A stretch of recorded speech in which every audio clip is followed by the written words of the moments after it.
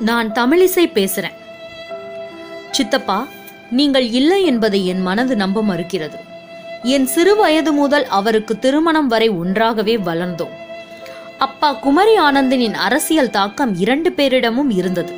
ஆனால் வேறு வேறு பாதையில் பயணித்தோம். இயக்கம் வேறாக இருந்ததால் இணக்கமாக இல்லையே தவிர இரத்த பாசமும் இருவரிடமும் உண்டு. தூரத்தில் இருந்தே அவரின் சுறுசுறுப்பையும் துருதுருப்பையும் கண்டு வியந்திருக்கிறேன். சிறுவயதில் ஒன்றாக உட்கார்ந்து சாப்பிட்டது சண்டையிட்டது எல்லாம் நினைவிற்கு வருகிறது. வசந்தன் கோ என்ற சாம்ராஜ்யத்தை உருவாக்கி பல பேருக்கு பணி கொடுத்த தர்மம் கூட காப்பாற்றவில்லையே என்று மனம் பதபதைக்கிறது. கண்டிப்புடன் கண்ணீரை அடக்க முயற்சித்தாலும் கரைபுரண்டு கண்ணீர் பெருகுகிறது.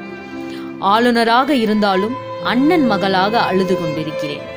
என தமிழிசை சவுந்தரராஜன் இரங்கல் மடல் தெரிவித்தார்.